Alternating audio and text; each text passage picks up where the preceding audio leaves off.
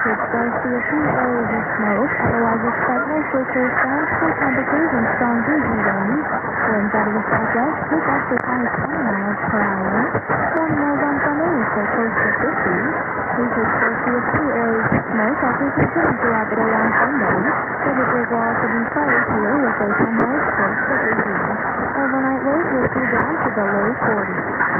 And the rest of that night is weather on command at CCRadio.com. Radio.com.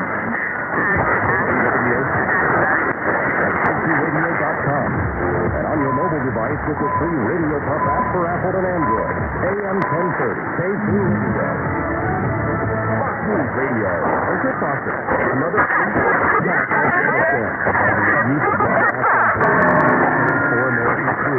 Day after